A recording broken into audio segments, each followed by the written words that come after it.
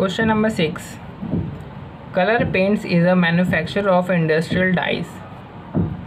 Colour paints एक company का नाम है ये डाइज जो है उसका मैन्युफैक्चरिंग का काम करता है डाई का मैन्युफैक्चरिंग का it has received an order for two hundred K Gs of powder dye that needs to be customize to certain specifications the job would require the following materials इसने 200 kilo के die का इसने order लिया है और इसको इसमें कुछ कस्टमाइजेशन करनी पड़ेगी इस डाई को बनाने के लिए। देखते हैं अब इस डाई को बनाने के लिए जिस डाई के लिए कस्टमाइजेशन इसको करनी पड़ेगी, यानी एक तरीके की स्पेशल ऑर्डर है, ठीक है? ये स्पेशल ऑर्डर वाला कॉन्सेप्ट है। इसमें इसको मेटेरियल की ज़रूरत पड़ेगी A B C and D total units 2000 3000 2500 already in stock A तो स्टॉक में है ही नहीं। बी जो है वो सिर्फ़ 1200 है, चाहिए 3000 सी 1400 है, चाहिए 2000 और डी 500 का 500 है। The book value realisable replacement cost and purchase price दे रखी है पर यूनिट की। ठीक है फिर। आगे क्या कहता है कि material B is use regularly in the production of all types of dyes that colour paints produce matter B जो है वो रेगुलरली यूज़ किया जाता है। Therefore any stock towards this job order would need to be replaced to meet other production demands कह रहा है कि ये रेगुलरली यूज़ किया जाता है तो इसको जो है आपको जो आप काम अभी कर रहे हो, उससे हटा करके इसको स्पेशल ऑर्डर वाले में लगाना पड़ेगा। ठीक है, यानी एक तरीके से ये कह रहा है कि अब ये लगाएगा। लगाएगा तो इसको उसके लिए कम पड़ जाएगा तो बाहर से उसके लिए परचेज़ करेगा। तो यानी एक तरीके से परचेज़ प्राइस ही हो गई ना, क्योंकि ये रेगुलरली यूज़ कर रहा है नहीं रेगुलरली बाहर से परचेज़ कर रहा होगा। सिंपल सी बात है। Inventory of material C and material D are from stock that was purchased in excess previously. जो मटेरियल C है और मटेरियल जो D है, वो हमने पिछली बार जब हम परचेज़ करने गए थे तो हमसे ज़्यादा परचेज़ हो गया था। यानी वो अभी भी हमारे स्टॉक में पड़ा हुआ उसका कुछ यूज़ नहीं हो रहा वो ज़्यादा है एक्चुअली ज़्यादा में हमने परचेज़ कर लिया था। Material C has no other use other than for this special order और जो मटेरियल सी है जो हमने ख़रीदा है, जिसे हम कह रहे हैं कि एक्सेस में ख़रीदा है, वो जो मटेरियल सी है, वो पूरा का पूरा सिर्फ़ इसी ऑर्डर में यूज़ हो सकता है, वो कहीं और यूज़ नहीं हो सकता है। जिसे हम नॉर्मल जो डाई करते हैं, उसमें भी मटेरियल सी यूज़ नहीं होता है। ठीक है? तो ये स्टेटमेंट यहाँ पे गलत है।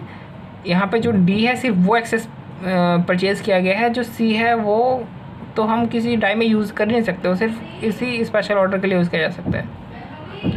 Material D can be used as a substitute for 700 units of material Z, which currently cost 11 per unit. जो मटेरियल हाँ दीदी, दो मिनट। दो minute.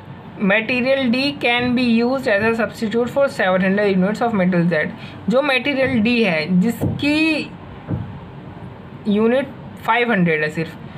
इस 500 यूनिट को यूज़ करके हम 700 यूनिट्स ऑफ़ मेटेरियल जीप बना सकते हैं, जिसको बनाने की लागत ग्यारह रुपये पर यूनिट आती है, ठीक है? तो इसका अल्टरनेटिव यूज़ कहाँ है? सब फाइव हंड्रेड यूनिट्स का यूज़ हम सेवन हंड्रेड यूनिट्स बनाने में कर सकते हैं। तो यानी में सेविंग्स कितनी होगी? सेवन हंड्रेड इंटू एलेवन कर दो तो सात हज़ार सात सौ की सेविंग्स हो जाएगी। The company does not have any inventory of metal Z currently तो कंपनी के पास कोई मटेरियल है भी नहीं इसके लिए जेड को बनाने के लिए कोई मटेरियल है नहीं।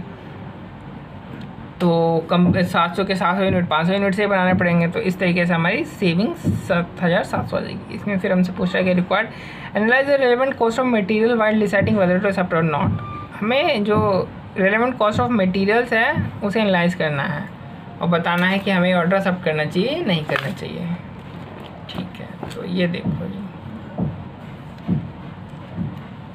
इसमें हम रेलिवेंट कॉस्ट मटेरियल को देखते हैं। मटेरियल ए हमने देखा था, बिल्कुल भी स्टॉक में नहीं आई हमें सारा का सारा परचेज़ करना पड़ेगा तो अमाउंट इतनी आ गई। दो हज़ार चाहिए था, आठ रुपये का परचेज़ प्राइस है। मटेरियल बी मटेरियल बी को दो भागों में बांट रखा है। कि मटेरियल बी चाहिए कितना? चाहिए तीन हज़ार। और सिर्फ़ बारह सौ स्टॉक में है।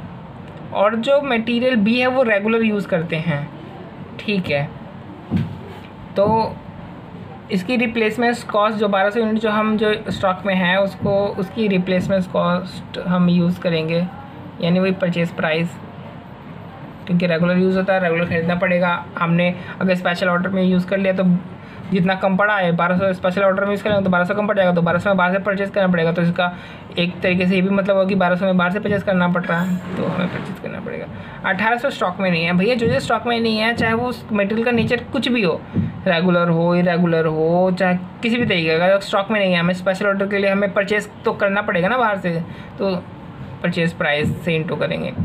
उसी दिन मटेरियल सी 2000 की रिक्वायरमेंट है, इसमें 1400 स्टॉक में है।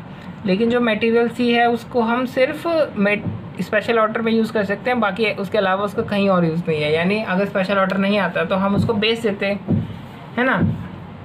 तो इसकी जो कॉस्ट प्राइस है, वो कितनी एन हो गई। नौ रुपये पर यूनिट के हिसाब से बेचते तो इतनी हो गई।